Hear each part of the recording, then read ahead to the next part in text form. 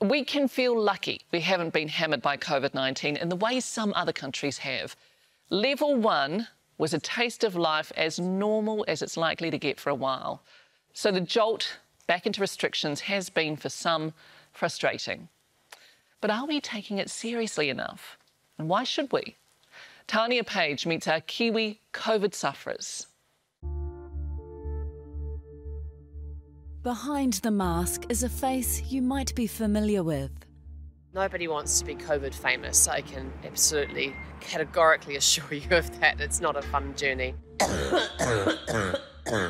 But that is what Janine Crossan became. It was horrific. I was very, very miserable. Posting about her fight against coronavirus. So we really do need to take it incredibly seriously. From North Shore Hospital in Auckland Hi from my camper van. Um, look at the grey. and from self isolation. Lots of love and kisses from him.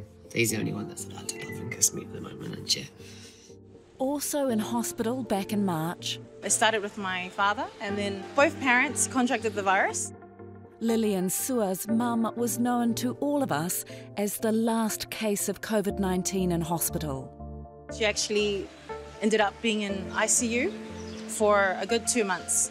Her name is Lily. She wasn't ready to give up. How difficult was it to see your mum so sick?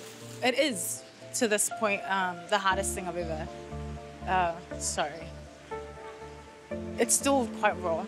Um, it, it was the hardest thing that I've ever gone through as a daughter. Grateful for the health care and for a second chance. After going through what we went through, there is a peace, but it's more worrying to see other people just not caring at all, you know? Janine, you've got your accessory that goes everywhere with you now, haven't you? Yeah, no, this is a, a homemade jobby from a t-shirt that a brother gave me, which he thought was a nice signifier of how we feel about 2020 so far. So it's held together with elastic bands and it's got a real disposable face mask underneath it. Do you want me to show you? Sure. You are safely distanced from me. it's literally just a piece of t-shirt over top of a disposable mask. Make a fashion statement out of it while you can. A statement some of us might relate to. I was a perfectly healthy 41 year old when I got this. Yeah, I was I was very sick. I was in hospital for four days, three nights. Five months on, Janine has still not fully recovered. I'm sick in a whole variety of ways. I've joined a, a long haul COVID group and realised that my symptoms are very similar to others. Um, I have weird allergies that I never used to have. I'm allergic to dogs now. Go figure. Very allergic to um, all sorts of little things, and I don't know what they are. It'll just trigger me, and I'll find myself having deep, chesty coughs. This is Janine this week. I use an inhaler now several times a day. Not just physically, but mentally, you've been affected. Anxiety off the completely off the rocker for me, and um, to be honest, I've taken anxiety medication since. It's been uh, something that's just changed the trajectory of my life entirely. So leaving her inner city apartment is tough. Um, it's it's pretty triggering, I have to say, and I could really see a divide in those who are obviously trying to do what they can, and those sort of strikes that they don't really believe in the whole thing. And you can tell by the mask wearing, the amount of distance and space they're giving each other. Well, I can see people exercising together in a group. In fairness, they are relatively distant from each other. I think they're trying. I see people who are going out on coffee um, together who I don't think are probably living together. I think Kiwis have become a little bit blasé about it. I think we've become incredibly complacent about it. Yeah. On the North Shore, Devonport, empty ferries, What were you after? Uh, hot chocolate, thanks. a trickle of business. Thank you. I'll get mine first. Have to take it off to drink it. Mm. Is it nice to see more businesses open this time through? Definitely, yeah. It was very, uh, very grim here in the village during level four and actually really depressing. Sharon Zollner lives here. Because you're quite dependent on um, tourists around here, aren't you? Yeah, here in Devonport, the cruise ships uh, explain a lot of our boutique and, and really interesting retail, the gift shops and the galleries, and it's going to be pretty tough for them without those cruise ship passengers for the foreseeable future. She's ANZ's chief economist. It is clear this thing is going to go on and on. And what countries are finding is that people are over it. They really are sick of it. And young people in particular are starting to flout the rules. So in, in some ways, New Zealand's approach of go hard, go early, then relax, it's actually better suited, I think, possibly to the human psyche, which is fight or flight. It's really difficult to stay in a state of high alert about a chronic threat. We're just not wired that way.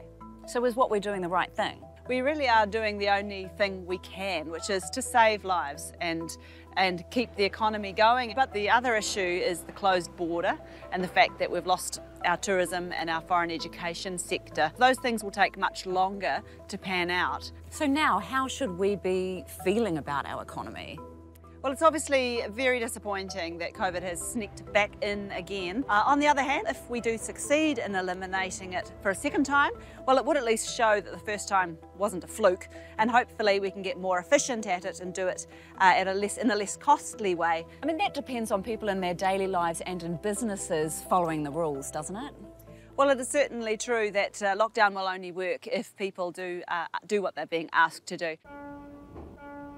Level 3 in Auckland means there's a bit of activity. But it's not a great time for Janine's global software company. How's that been affected? Well, the, the hardest part for me on an economic level, of course, has been, uh, well, one, the local business, the, the here in Beauty Marketplace, instantly overnight disappeared.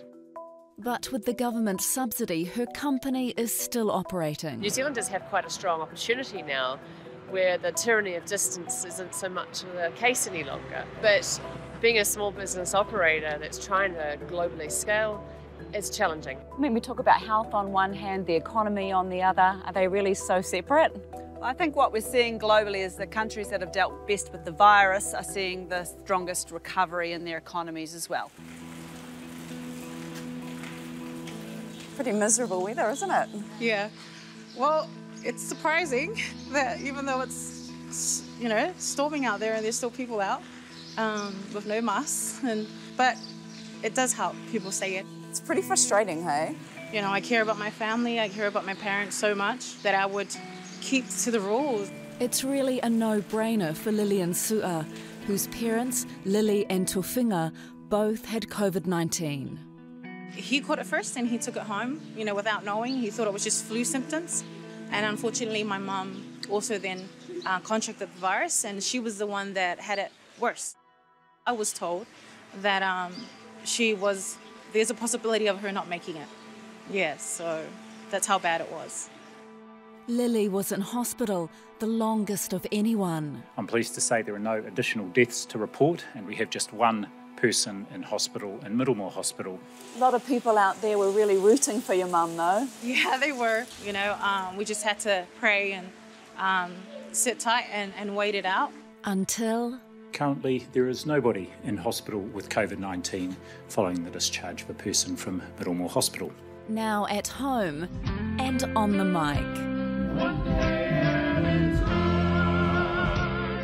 Enjoying watching my mom and dad sing karaoke.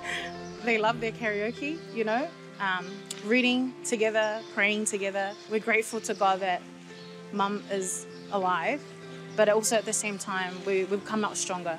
But her mum still needs physio as she was on a ventilator for so long. Lillian's given up her job in Australia's film industry to stay with mum and dad. When you do leave the house, how do you feel about it? I, wouldn't say fear. It's more worrying, I guess.